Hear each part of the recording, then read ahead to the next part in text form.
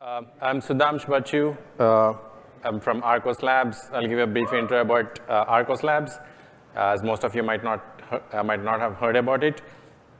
Uh, hi, I'm Remington Breeze, uh, and I'm a software engineer at Akuity. Oh. you might be curious, what is Don't Let a Bot In? I want to get creative so that I could get picked for the lightning talk. So that's the whole reason. Cool. So uh, about Arkose Labs, it's, it's a security, cybersecurity company. Uh, why I'm sharing about Arkose Labs is like why releases are more important to us. What would happen if uh, releases don't work as expected or if there is downtime. So Arkose Labs uh, has uh, protects its customers like PayPal, Microsoft, Adobe, Roblox, Snap, and bunch of other customers.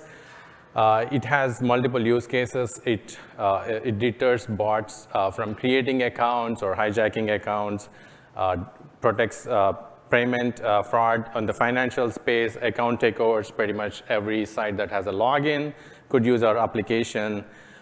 new account fraud, like for example, if PayPal has a promotion for $10, somebody could create, use bots and then create accounts and then exploit that marketing. So that's where our product uh, stops users by, uh, with CAPTCHA challenges uh, and deters bots. If a manual user is creating multiple accounts, we have different rules and strategies to block those users with complex puzzles, and at, at a particular point, we deny them. So as you see, we have like very large customers like Microsoft, PayPal, Adobe, and others. They have very strong uh, observability platforms in their environment. So if our service goes down, they'll detect in no time. So whenever we do a release, we need to be confident that the release will go smoothly and it will not have any regressions. So that's where, uh, so we had multiple challenges. Uh, I'll share in uh, next slides and why we chose Argo CD uh, for our uh, continuous delivery. With all the amazing talks we had today, if you're not sold on Argo CD, so let me nudge you a bit more. So some of the challenges what we had, multi-day releases, I'm not making it up. Uh, as being a SaaS company, we had to make sure release to a region, test it thoroughly, then go to next region, then test it thoroughly. That, that took multiple days. Uh, because for a couple of reasons, because we were in ECR and something like Blue Green was not supported out of box. So the, the end result was like 50 different manual steps to be done to make sure that the release goes smoothly and customers are not impacted. Obviously, if you have a multi-day release with like six or seven people, you can imagine the toil on the developers. Like, dude, release is kind of a dreaded day in, Uh, for everyone, whoever was involved in that. So when you have a long release, it has an other side effect. The release velocity would be low because nobody wants to spend multi-day release and then you release once a month or once in three weeks. What would that result to? You will have more rollbacks because a lot of changes are going at once. There is a high probability that something would break. So you spend time in rollback.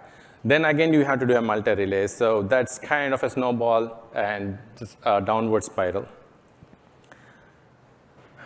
And other problem what we had was uh, building always, irrespective whether it's a config change or whether it is a code change, kind of goes to like different folders and don't build if your code hasn't changed. Uh, it's a config change you can release without building your image uh, as the, the code hasn't the, the code hasn't really changed for your, uh, to deploy a new image into your environment.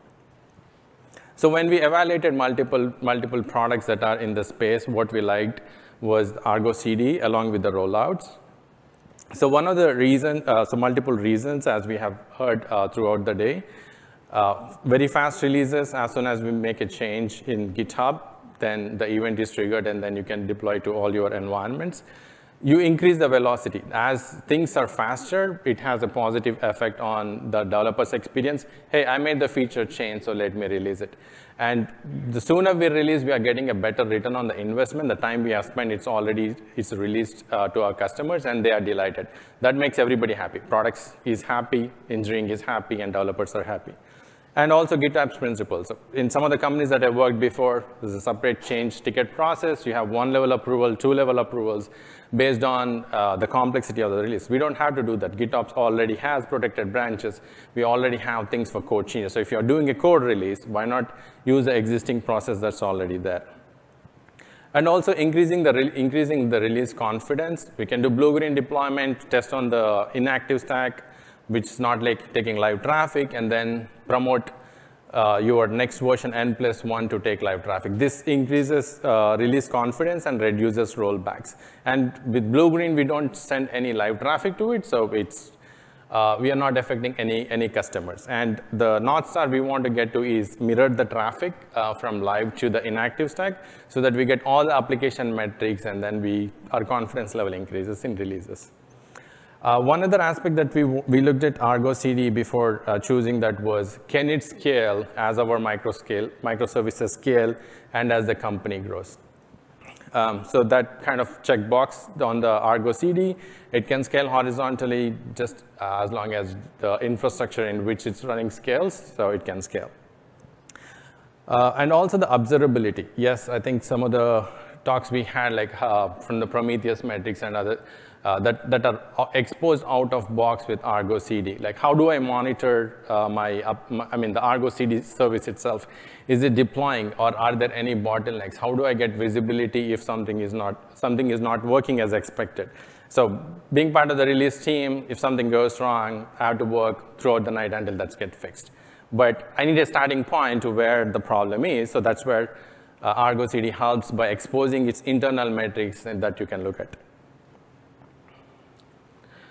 So all the features, so before even looking at Argo CD, we went through the requirements document. Hey, these are the things that we want. You want scalable, observability, and then blue-green deployment, canary, notifications, etc. out of the box.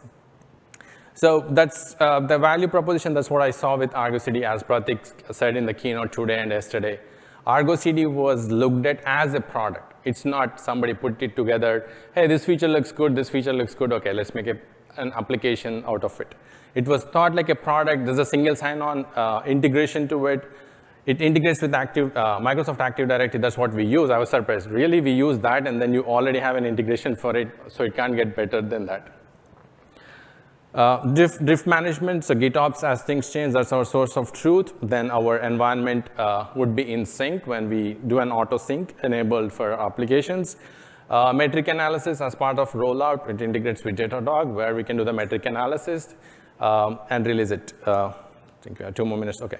Uh, so blue-green, canary, out-of-box, Slack notifications. So as I said, we had a checklist where a developer would say, hey, I'm starting on US region one, do the deployment, and then one more Slack sends one more Slack message saying, hey, we finished on US East one. That's not good use of time, and that would not be accurate because the deployment could happen anytime. So when that is integrated with, uh, as part of the uh, Argo CD deployment, then you know that the action happened pretty close to the message that, that was sent out.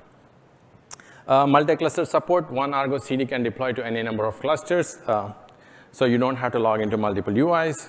Uh, command and control for SREs, uh, if a pod is misbehaving, SREs can just restart or, I mean, delete, delete the pod in production. That's, that's a lot better than getting the credentials from AWS console, updating your credentials file, and then connecting to cluster, connecting to the namespace and deleting, and somebody could delete it from a wrong namespace. And it's open source, so it's an easy sell to finance team. Um, all right, thank you. Uh, so I'm going to speak a little bit about Akuity's partnership with Arkose Labs. Um, so as Sudhamsh mentioned, um, they have very high requirements for um, uptime with their product, and Argo CD helps provide that. But in addition to that comes a higher standard, um, and Akuity helps uh, them achieve that standard.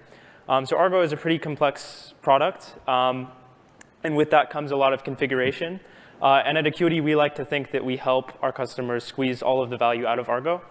Um, so yeah, uh, some of what we've provided. Um, when Arkose was having difficulty configuring the RollS extension, for example, for the Argo CD UI, um, we helped them to do that. Um, and then on top of that, we just have a lot of uh, knowledge here at Akuity about Argo because we are a, a company of maintainers and experts. Um, so we bring all of that knowledge and, and help our, our friends at Arkose. Um, and then uh, we also launched last week a platform that makes it easy to configure Argo CD um, with out-of-the-box uh, benefits such as security and cost reduction uh, on top of all of the OSS features that you guys know and love. Um, so yeah, uh, thank you guys. Cool. Thank you.